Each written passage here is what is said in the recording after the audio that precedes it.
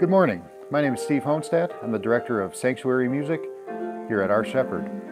Our devotion for December 9th is based on Psalm 126 and the hymn Hark the Glad Sound, which is number 349.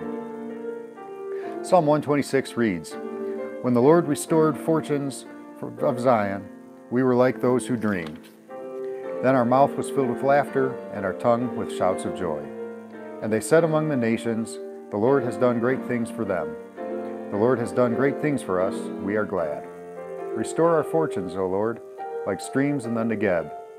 Those who sow in tears shall reap with shouts of joy.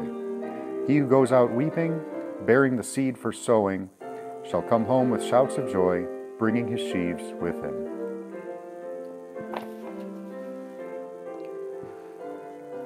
The two minute warning goes back to the National Football League's earliest days, when the referee's wristwatch was the official game clock. When two minutes were left in the game, he would stop the clock and let both teams know how much time remained. Starting in the 1960s, though, the NFL made the stadium's clock the official game clock. But the league didn't want to do away with the two minute warning because it built excitement and gave TV and radio networks more opportunities to sell commercials. We have our own two minute warning. The Bible says history is almost over. The time is short. Christ's return is imminent.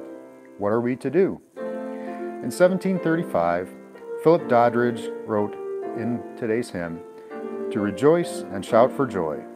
Hark the glad sound, the Savior comes, the Savior promised long. Jesus has done great things for us. Jesus will do even greater things when he returns to turn sighing into singing and pain into everlasting praise.